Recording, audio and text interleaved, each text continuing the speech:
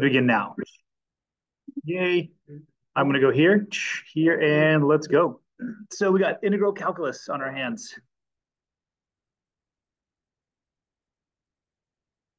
That's where that should not be here. It should go down here. Thank you. All right. So we're going to start with this. So chapter five is the integrals. What are we trying to integrate? We'll see. Definition will come a little more alive to us a little bit later on. But let's go back to geometry. So here's our little problem from geometry is areas. So 3.5.1 is all about areas. Areas underneath something. And that's what integral calculus is? Yes. And it gets like super cool afterwards. Because once you calculate area, you can calculate volume, you can calculate everything else. So from geometry, uh, you guys tell me what, uh, you guys tell me what, um, what figures do we know from geometry that we can get area of? Like, give me some square, triangle, circle. We go to area of circle is pi r squared. Octagon, yep, eight-sided stuff. Circle, uh-huh. Rectangles, squares. Uh-huh. Uh, thank you. Any kind of poly polygons, right? Any kind of n-gons, right? So let's go. Yep. So we got this one. We got the rectangle, square, triangle. Oh, how about this one? Anybody remember the name of this guy? Close. I'll get a rhombus here in just a second here.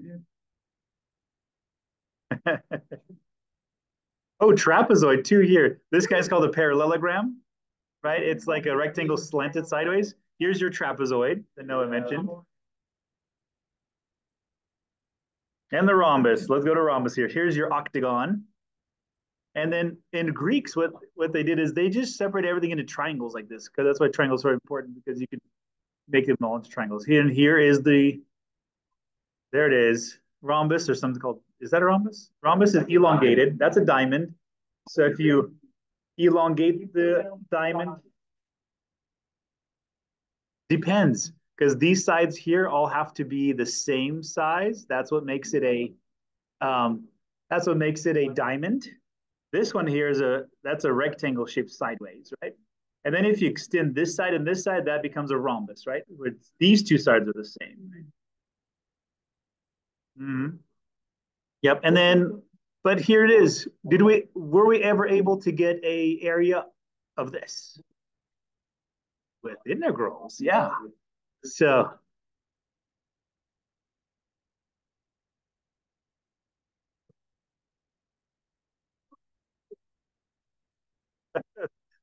the goofy shoe. Okay. so, so before we get to 5-1, we're going to take a little bit of time to go into Appendix E. Whoa. So here's, if you want to take notes, here it is. Here's Appendix E we got to get some notation down. Well, yeah, that it should be exercise one. The one is very, very small. The end of the X.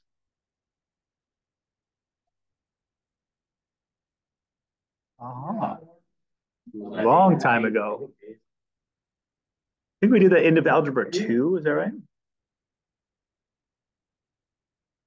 Absolutely, yeah. So this guy is the capital S in Greek letters, and then we use that for sum, but it's called sigma. Uh-huh. Fun little thing. Sigma. All right, so write the sum in expanded form, and if you can, you can give you can give the answer, but you just want to write out the sum for sure. So here it is. This guy is called our index. Our index starts at one and it goes up to six. And when you get to six, you stop. That's it. So here it is. If i is one and the formula for this guy is i, we get a one. Then the index goes up one notch. So we start with i is equal to one. Then we go on to i equals two. And the formula says two, right? Because we're just plugging an i. And then the index goes up to three, and the formula says three. Index goes up to four. Formula says four. Index goes up to five, and then eventually six. And that's the expanded form. Good. Sometimes we'll be able to get an answer and sometimes we won't. That's just the way it is. But in this case, I think we can. So tell me real quick here, anybody know the answer? 20, 21, da-dum. Okay. so the index is one. We're only going up to three, but now our formula is i squared. So here it is. With i being one, becomes one squared. And then it becomes two squared, and then three squared. Yes, so perfect. Emma's question, can I start I anywhere? Yes, so you can start I at, at two or three or four, yep. So you can I you can start the index anywhere you like. Normally we like to start it at one because we usually count stuff as a one, right? One, two, three, four, five. So normally that's the that's the, and it's 14. Perfecto. Okay, those are the easy ones. Let's get into a little bit more complicated. So I'm gonna go this one. So yes, I'm a perfect timing here. Look at this. So does it have to start with one? It does not. We can start it with five.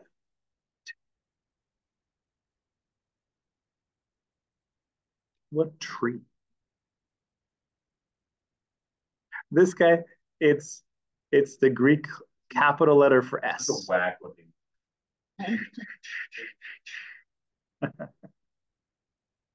Uh-huh.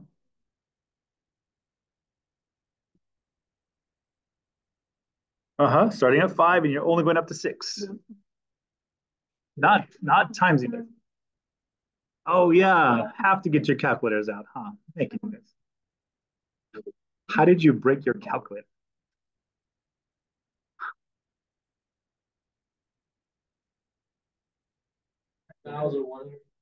Okay, so let's go with it. Expanded form is four to the fifth and four to the sixth. Perfect.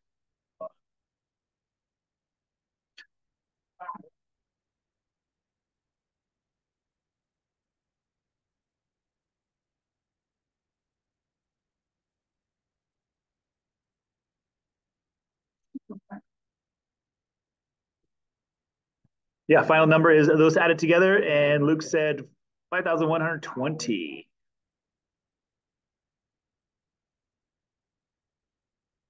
And we'll see how far we get today. We might not finish my one. We'll see.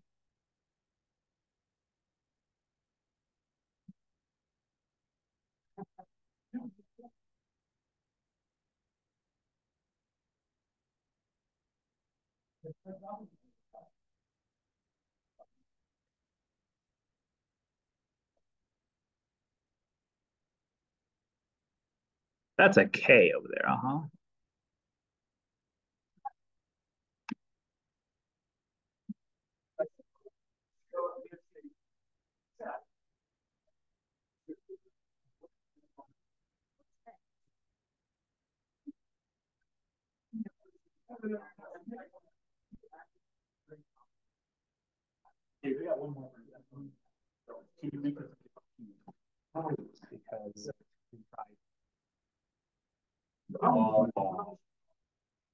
Uh-huh.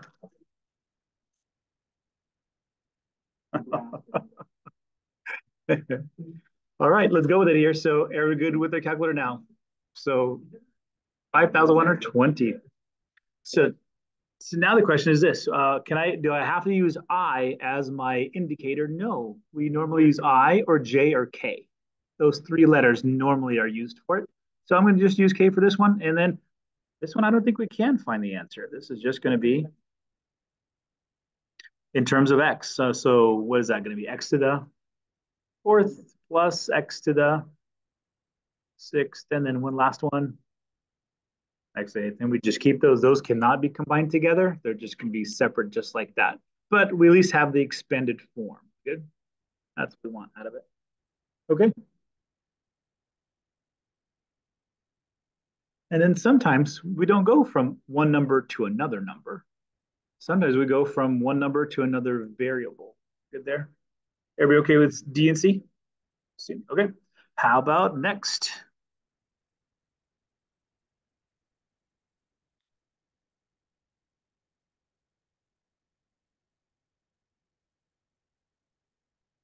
Ooh, that's an N on top. Yeah, I go from three and I go up to N. So just to a different variable. Okay. So sometimes we leave it in the expanded form just like this. Sometimes we simplify it. Just kind of depends what you want to do. Either one's fine. So let's go with it here. So if I go, oh, on top I have the three, but the bottom, I'd have a three plus one. You can keep it like that, or you could put in a four. Either way is just fine. We're good. You can write it as three plus one. You could put four. So I go, let's see, I go now four. The bottom would be four plus one. And then on top now I have a five, and the bottom is five plus one. And I can keep on doing this for a long, long time because I don't know what n is. So what I'm going to do is I'm going to do this. I'm going to put dot, dot, dot. And I'm going to say I'm going to go all the way up to n. The bottom would be n plus 1. Are we good there? So this one will expand for a long time until I get to whatever n is. I don't know what n is. Okay, we're good there. All this stuff used as we're going to use this stuff. Um, the other way around. Let's go backwards. Tell me if I went too fast. We're good, good. I want you guys to do this one.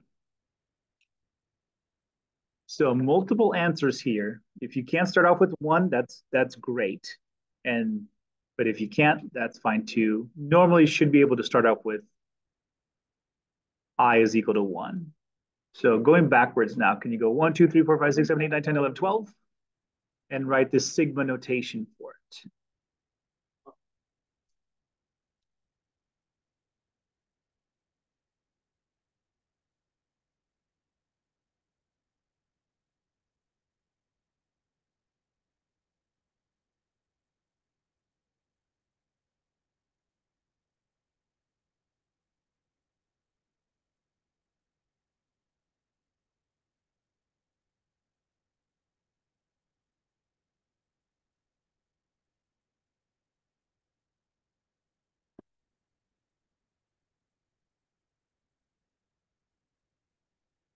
All right, what do we get here? First one. Just, I mean, just... Perfect, and just I. Uh-huh. And so, yeah, notice on the bottom now, yeah, bottom, that one, first one actually could be a one over one. Bless you. Bless you, bless you.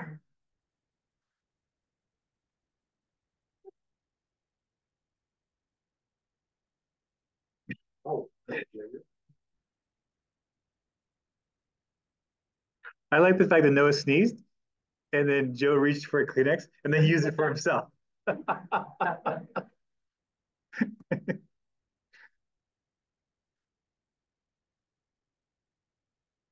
let's go with it here. So on the bottom, we noticed it's kind of very similar to the top, except they're square terms, right? This is two squared, that's three squared, four squared, and we're going to go all the way up to like 12 squared. Yep. So let's go with i is equal to 1. And then what's my formula? 1 over i squared. And we're going up to 12 is when we stop. Okay, that's cool. That's kind of what you're going to have to do on the homework for Appendix E. And then let's get into a few things here. Let's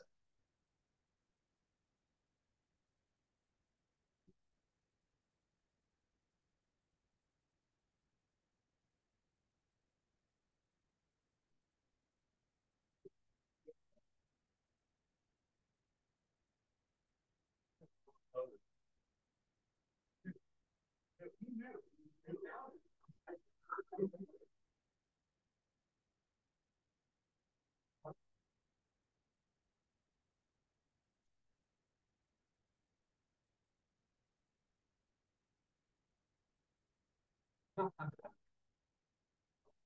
right, another one.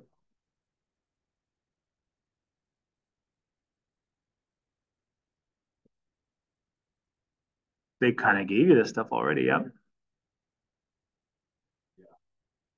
Last bit, basically.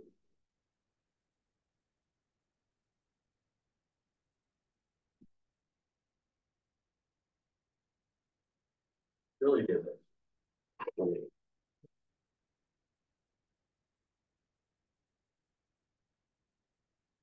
Is it literally just?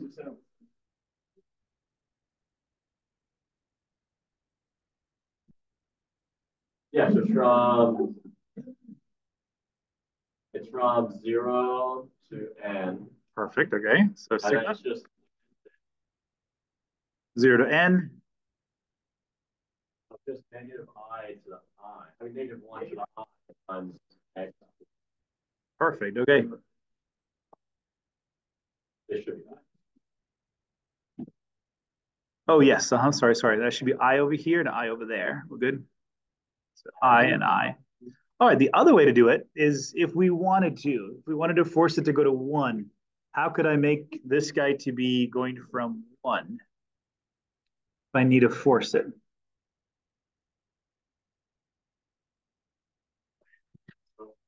Uh-huh. If I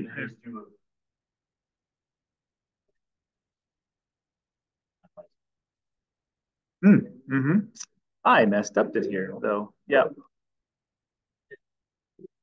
So this this should be I minus one oh, right here. I minus one, I minus one. Upper limit is I plus one or N plus one.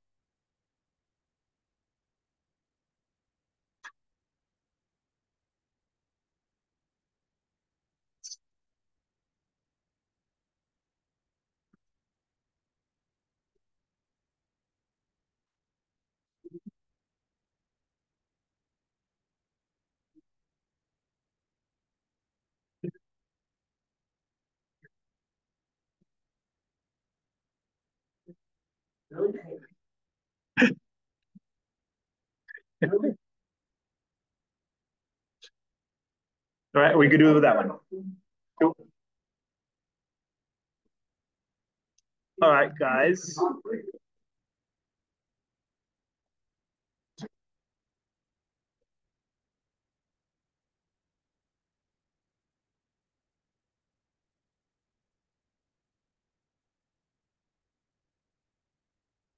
Special cases, here it is. I would like to know a formula. So here it is. So I'm to one, two, three, I got five formulas to get to.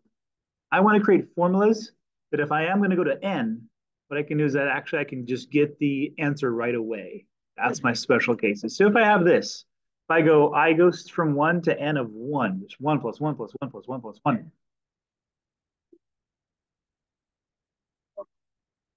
and times what's my formula? And Luke is correct. If I'm going to go from 1 to n of just 1, the answer is just n. Are we good there? And we can circle that, square it, whatever you need to do, just kind of put it as a special case, right? This is special. Does that make sense there? So any con, if we have a constant, in this case, it's 1, right? So if it's just 1 plus 1 plus 1 plus 1 plus 1 plus 1, n times over, it's just n. That's our first special case.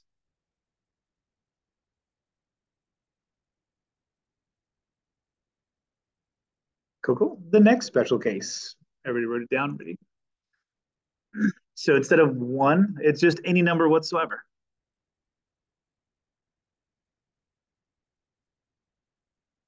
All right, what would this happen? What would this be? C is a, oh, C is a constant, right? So it's 4 plus 4 plus 4 plus 4 plus 4 plus 4. 12 plus 12 plus 12 plus 12 plus 12. But it's C all over again, n times. So C times n. So write this down real quick here. There's our NC or CN, whichever one you like. We are just going to multiply that constant by the n. So notice, yeah, we are just trying to get to one, right? The whole point is make sure that you start with one. So right, there are five, five special cases here. So write all of them down. Because we're gonna have to use each of these cases later on. All right, and then the one, the other one is this. Now let's develop this one because uh, no, we've developed these three. Um, do you guys remember uh, Frederick Gauss, remember?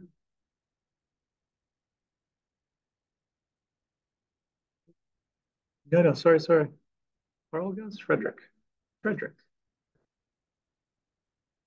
Yeah. Um, in fourth grade, his teacher tells him, "Hey, uh, count from one to a hundred." Did I tell you guys that story? Right? It's that guy chilling in fourth grade. And he found out, oh, it's 5,150. And he did it within like two minutes. And so let's do the more sophisticated form. Here's a third law. So it's the sophisticated form of Frederick's law. Here it is. I'm not going to go to 100. I'm going to go to n. But we're going to use the same type of method that he used. So think with me here for a little bit. We'll develop this here. So if I got i, an i is being notched up from 1 to 2 to 3 to 4 to 5. And we keep on going all the way to n. Question is, what is my formula? I've done uh, 12. That's cool. 42. Okay, so here's what uh, a more sophisticated way of what Frederick Gauss did. He said, if I have this, bless you, bless you, if I just rewrite this the other way, if I just do it like this, notice that this is n minus 1, then there's n. Good? So it goes from 1 to n. If I had another one just like this, oh, special case, blah, blah, blah. If I had another one going like this, can I rewrite it the exact opposite way? Is it possible to write this exact opposite way? So starting at 1, I'm to start off with n. Is that technically saying the same thing, though? If I do this, n is on this side, n minus 1, and I keep on going, is that still the same? Will I get the same answer if I did it this way? Yeah, cool. Whichever way you add stuff, it doesn't matter, right? So then Friedrich was thinking about this. Oh, well, if that is the case, class, tell me what this is. Tell me what, like this one and this one added together, what would that be? N plus 1. How about this and this? Another n plus 1, is that right? Because it'd be 2 plus n minus 1. And if I go here, this would be here, and then this would be n minus 2, right? But 3, 3 plus a n minus 2 would make n plus 1 again. So notice all if I go all the way down to here, what is n minus 1 plus 2? n plus 1, and that is so cool. So hold on. If I think about this, how many of these terms do I have? This one, this one. I have n of these terms. So hold on. But if I add these together, don't I have two of these? Is that right? I have two. I'm adding it twice, right? Perfect. So it's n plus 1 if I need to draw it out. I have all these n 1s, and there are n of these guys. Good? So you can write the next one down, right? Write this one down because that's what is the one we got to here. So the short version is I have two of these, and I added them together, and I get an n times n plus 1. If I divide by, I need to get this guy by itself. Divide by 2 because I added both of these terms together. Sweet, there's my formula. If I'm going to add, this one's going to be one that we're going to use a lot. If I add that term together to any kind of n, we're going to use this guy to find the sum. Box it in, you're good to go.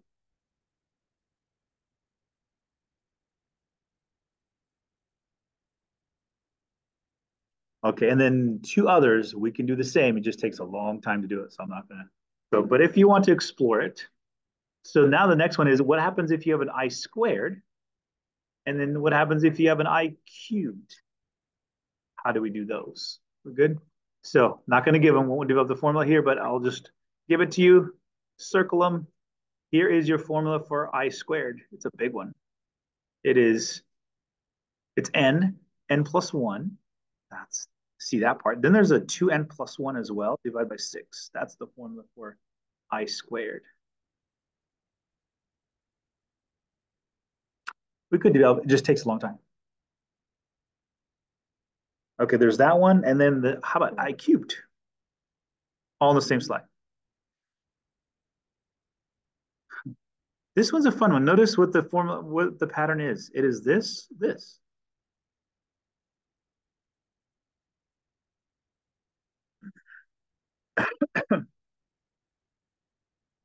that is it. What I find weird is this. Notice this is the formula we developed, n plus n plus 1 over 2 to get the sum of the cube form, it's just this the linear form squared. I wonder if there's something there. I wonder if there's some kind of uh, Oh, to the fourth, uh-huh. Yeah, or at least initially I thought it should be of the squared form, right? Yeah. That's weird. And I wonder if this, if we go to the fourth, to the fifth, to the sixth, I wonder if this pattern shows up later on. or Not. Or is there a combination between this pattern and this pattern? Then what's up with the n plus n plus 1? Because technically n plus n plus 1 over 2 is still here. Is that right? It's still listed. We just have this extra 2n plus 1 over 3, right? We've got this little interesting other multiplier. That's kind of weird. Anyways, but those are the formulas. There it is, all five. We are jamming. So then I need you guys to find this.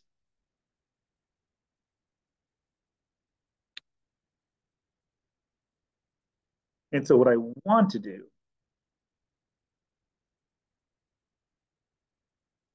you can find the value. You can find the value just by plugging numbers. Notice I'm going from three to six, right? Now we can do what we normally did before. So notice I got a little problem here. The formulas that we have all start off with one. True, true. And they all go up to n. So if I don't have that in the mix, if I'm starting with three, I'm kind of stuck. I can't use the formula directly. Good. But this one's actually easy because this was just going from three to six. So we can do this the old fashioned way. So plug in a three into here, three, three minus two is a one. My iteration now is four, so four times two. Now I'm at five, so it's five times three. Six and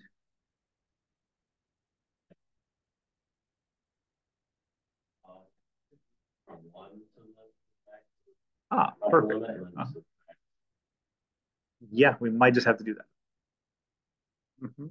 And we got 50, Noah says. I agree. Okay, that's the easy one. Those are just numbers. That's cool. Now we move on to this. I got I starting at 1, which I like. 2i is what I value. And then I'm going to go to n. How do I do that?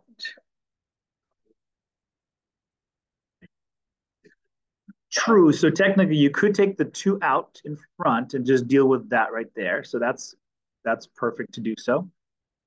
You could just leave the two here, right? Technically, two is outside, right? And we're just going to plug in the formula. The formula is n times n plus 1 over 2. Perfect. So once you get that, you're going to get the sum of two i's.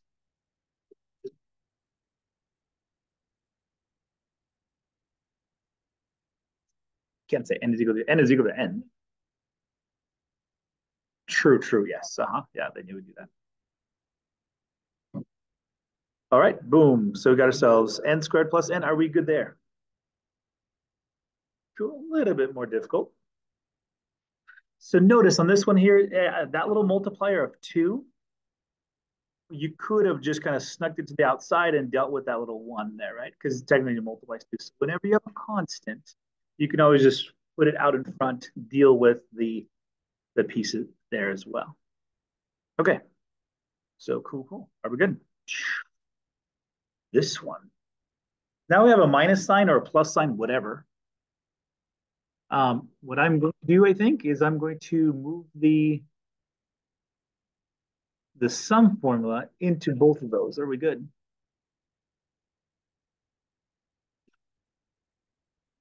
So notice the I is kind of stuck, right? It has the two in front that's subtracting. You had the five that's multiplying. So here's what we're gonna do. We are going to take this out, put into two different forms. Two minus. Good, good. Because I can get the sum, right? I can get the sum individually or I can get the sum in total. It doesn't matter. The sum is still going to be the sum. Even though here it's subtraction, still works.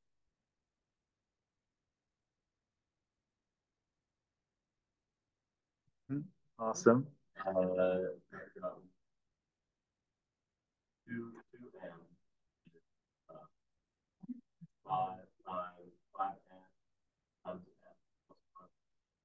Cool, yeah. The only thing I was thinking about is I can pull out a two in front, and then what I have is I have a, a one, right? Because one now I know I have, that was my first form, right? I pull out the five in front, and there's my third form. Did you do it? Oh yeah, awesome. Sweet.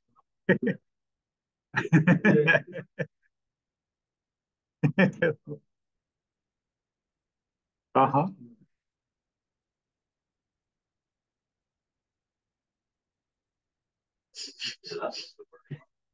Good job, dude. That's awesome. Okay, are we good with this one? We're pulling out the two, leaving us with the one, because I know that one. That was our first form that we did. And then this one is our third form that we did. We pulled out the five in front. That's the third form. So guys tell me real quick here, what was this one right here? What was the formula? Just n, perfect. Uh -huh. And then what was the formula over here? Perfect. Okay, let's use those formula. So this guy comes in as 2n. This guy comes in as 5 multiplying n plus n plus 1 over 2.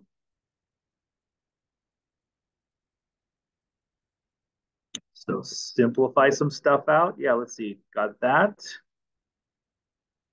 Let's see this. I can multiply this little negative 5n to n and then negative 5n to the 1. So let's do that. Negative 5n squared over 2 plus or minus, yeah, negative five n that. Anything I put together?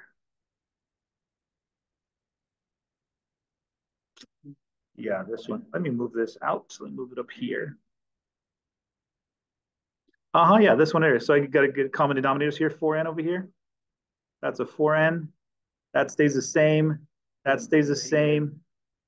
And give me the final answer. Uh-huh.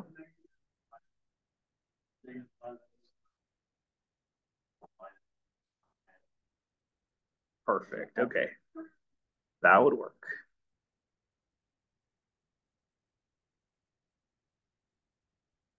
All right. Are we good there?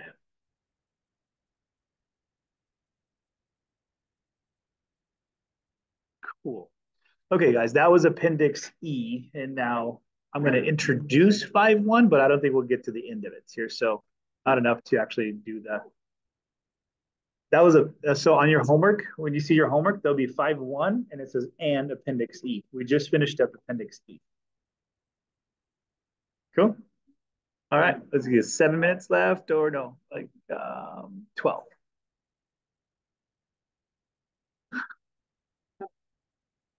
Ooh, it went over your nose. All right, so let's go with this one here then.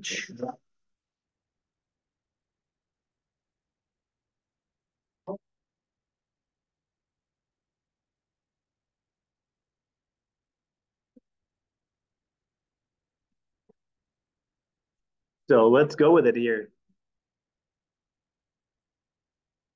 Good now. Got color coded. Sweet. That's funny. Okay, class, let's do let's do one one portion here. We'll do one portion here. So here's what I need to do.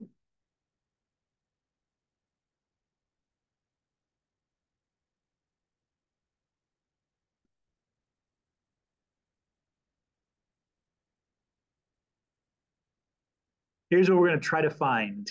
We're going to try to find the area underneath the curve from x squared of x squared from zero to one. So let me draw it out.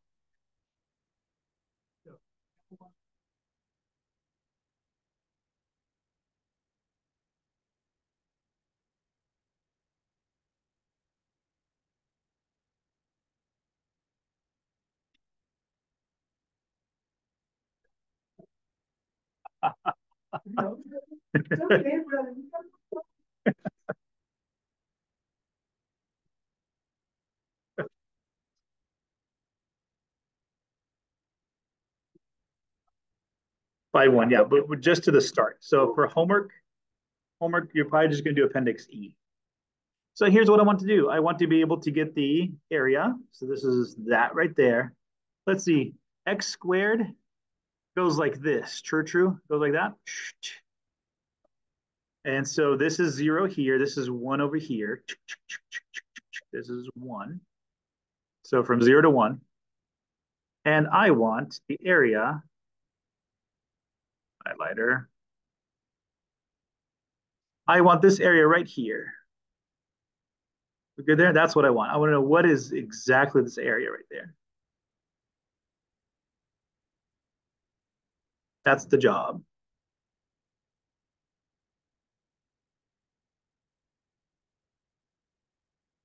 So here's what we do.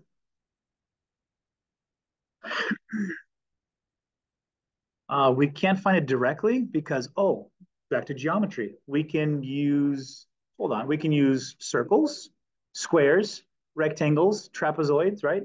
We have all these forms from geometry. We can only use those. So can you somehow put a circle inside here? That doesn't make sense. Can you put a trapezoid inside here? Try, oh, triangles might work. Yep. Um, and so as we as humans have thought through this and Leibniz came up with, let's use rectangles. Because rectangles are pretty cool in the sense that you can shape them the same way. And let's see what happens. Let's do it one way. Let's do it one way. So here's what Leibniz was thinking. Leibniz was thinking this. Here's my area. I'm going to one. And he said, how about if I do this? I know I'm going to over, I know I'm going to, it's going to be over, but how about this? If I break this up into maybe like four pieces. And I got to know this though. The maximum area this could ever be is if I did this. If it was just one big block, that would be area of one. Everybody agreed there? And the minimum area is going to be zero because I can just have nothing, right? So, but how about this? I'm going to use four rectangles. And I'm going to do this. I'm going to break it up into four different pieces. We're good? And I'm going to do this. I'm going to go from this piece here. I'm going to try to figure out what the area is of this little rectangle right here. I'm going to try to figure out the area of this little rectangle here, that little rectangle here, and then eventually I'm going to go all the way to here and get this little rectangle. Will that fulfill my area? Yes. Is it too much? Yeah, I see a little bit. There's it's over. It's actually too much right over here, right? So I'm going to over over guess. But let's try it. Let's try it for the remaining parts. So I'm going to say this.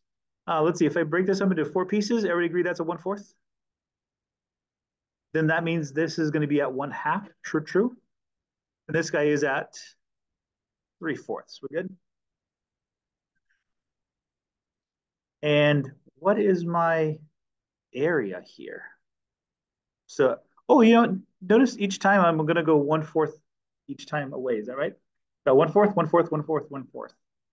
That's a fourth, and that's a fourth, and that's a fourth. Okay, so I think I got this. My area, using my right-hand side. So R is for right-hand side, and four is the amount of rectangles I use. So here's what I got. I got one fourth because that is going to be my my space from here to here. That's my width of my rectangle. My height is my rectangle is going to be whatever, wherever I'm at right here, and the function itself. What's my function? Squared. So then I go another fourth, and I'm at, where am I at now? I'm at, I'm at one half for now, right? One half. So one half squared is going to give me my height. And then I'm going to, I go another one fourth because that's my width. And my height here is going to be three fourths. And then I go one more width and my height. Are we good there? Can we calculate that? And Joe, can you close the door just for a second? Okay, can you calculate that right there?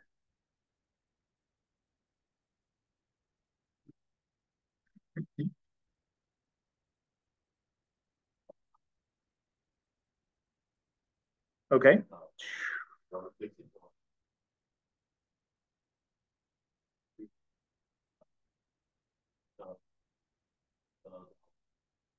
One sixteenth, okay. Um, That's gonna be nine on top, I know that.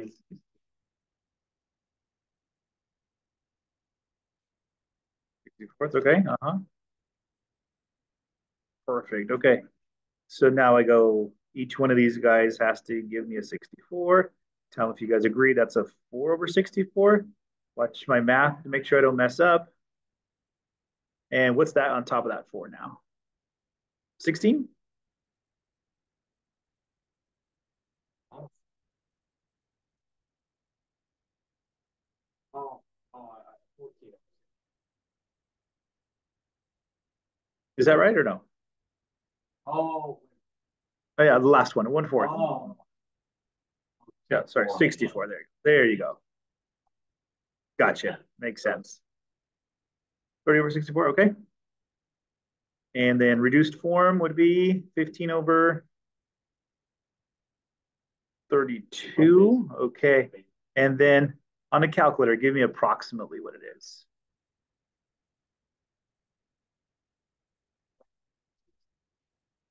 Okay, four, six, eight, seven, five. Okay. So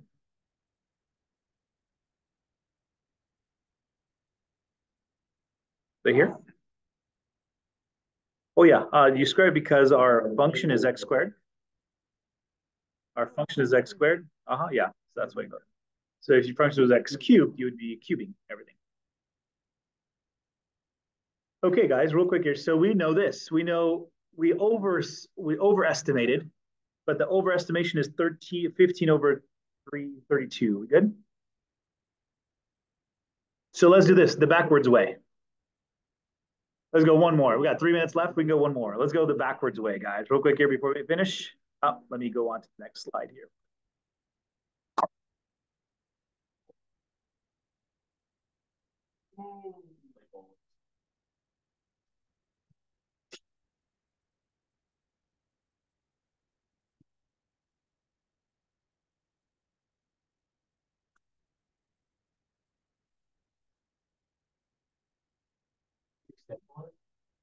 Oh.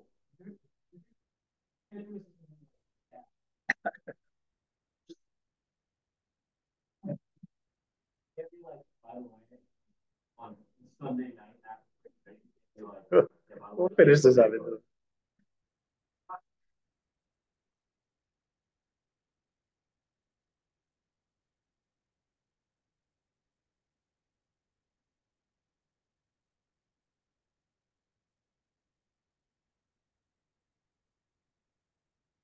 All right, class, let's go with it. With two minutes left, let's go. So I'm going to figure out the area going the other way.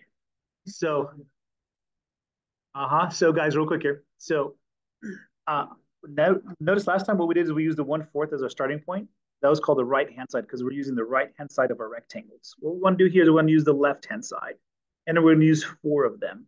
So if I start off here, this is my first rectangle. Notice my still width is one fourth. Everybody okay there? One fourth, one fourth, one fourth. But I'm going to use my left-hand side. So my width is one fourth. Oops, sorry. Good. Width is one fourth, but now my starting point is zero. Good, because I'm using my left side of my rectangle. And then so this one's going to be this rectangle. And then the one half is going to go up to here. And then the, the 3 fourths is going to go up to here. Notice I'm going to underestimate my rectangle now. So let's go with it. That should not go. So 1 fourth is my width. That's always going to be the same. But my point is 0. My other one's going to be here. My point is now 1 squared. Area okay there. Then the next one's going to be 1 half. My width is 1 fourth, the 1 half squared. And then I'm only going to reach to 3 fourths. So this is going to be 1 fourth times 3 fourths. Everybody's still okay. Everybody's still tracking? Not done yet mentally? Let's go with it. That's a zero. That is going to be the 164th. That's going to be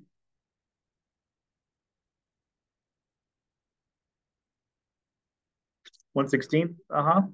That's going to be 1664. That's 64 over 9. Everybody good there?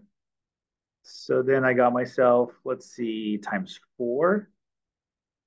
And what do we got here, guys? We got ourselves 13, 14. 14 over 64, reduced down to 7 over 32.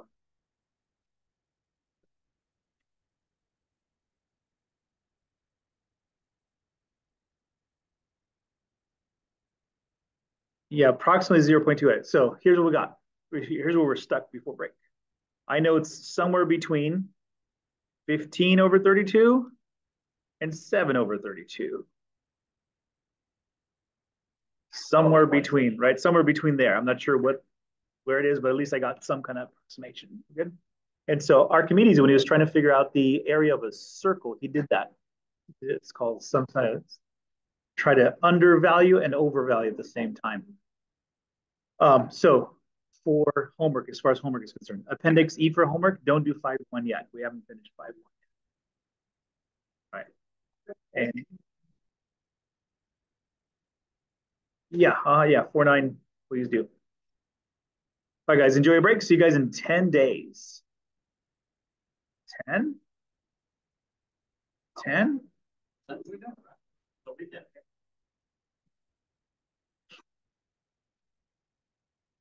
I turned in four point five, but it is